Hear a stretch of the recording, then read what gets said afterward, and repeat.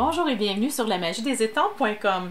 Je vous propose aujourd'hui non seulement un patron, mais c'est le même patron dans trois grandeurs de bourses surprises différentes. Ce sont des petites bourses euh, qui sont idéales pour offrir des petits cadeaux ou des petites gourmandises. Alors, pour vous donner une idée de la grosseur, la moyenne fait la paume de ma main.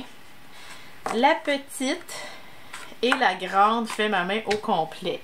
Donc, euh, c'est idéal pour les petits cadeaux, soit dans le temps de Noël, peu importe le temps de l'année, euh, la fin des classes, ça fait des belles surprises pour les professeurs également. Alors, je vous ai préparé un tutoriel qui a trois pages. Donc, vous avez le matériel nécessaire et la partie que vous allez, euh, dont vous allez vous servir le plus, c'est le tableau que je vous ai préparé ici. Petite bourse, moyenne, grande. Donc, vous avez le papier cartonné pour la bourse, les plis à faire sur le côté le plus long du carton, les plis à faire sur le côté le plus court et le papier design pour décorer, et puis les petites ganses, les marches à suivre et puis où faire les plis et où couper. Ça va être, c'est vraiment, ça m'a pris beaucoup de temps à faire ça. J'espère que vous allez aimer ça autant que moi. Alors, je vous montre rapidement comment faire parce que c'est facile. On prend notre patron, nos directives. Je vais faire la moyenne, par exemple, ici. OK? Donc, avec mon coupe-papier Stampin' Up, je viens couper à 5 pouces 6,5.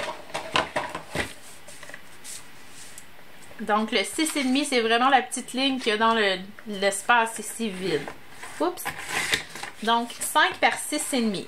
Là, je vous montre. Ici, c'est écrit pli à faire sur le côté le plus long, appuyez au haut de votre coupe-papier. Le côté le plus long, appuyez au haut du coupe-papier. Vous faites un pli à 2 et 3 quarts et un pli à 3 et 3 quarts. Désolée, j'ai pas les mesures en centimètres. On tourne. Pli à faire le côté du plus court, appuyez au haut de votre coupe-papier, 1 pouce et 4 pouces. C'est pas compliqué, hein? Donc, ça nous donne ceci. C'est aussi simple que d'aller faire les trous. C'est aussi simple que d'aller faire les entailles ici sur les petits euh, rabats. Et puis, vous allez voir ça va se monter. Je mets de la colle ici. Je monte ma bourse. Regardez comment c'est pas compliqué. Alors, l'autre chose à faire, en plus de ça, je vous ai mis le papier design ici. Donc, vous allez vous servir. Donc, euh, une longueur de 2 pouces et demi par 11 pouces avec des plis à 3, 4, 7, 8 pouces. Les plis sont facultatifs. Vous pouvez dire, je vais tout simplement enrouler mon papier design autour, puis ça va fonctionner, là. Mais celles qui veulent vraiment être hyper précises, je vous ai mis les plis, mais sont facultatifs. Et puis, une petite bande ici contrastante euh, pour aller euh, vraiment ajouter du pep à tout ça.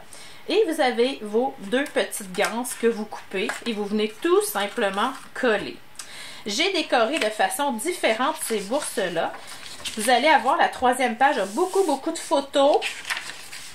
Donc, euh, j'ai décoré avec la belle marguerite perforée, la perle métallique, et puis ici, des petits détails à la Big Shot. Vous allez avoir tout le matériel nécessaire sur mon blog. Donc, si vous m'écoutez à partir de YouTube, allez sur lamagiedesétampes.com, le lien que je vais mettre en dessous de la vidéo.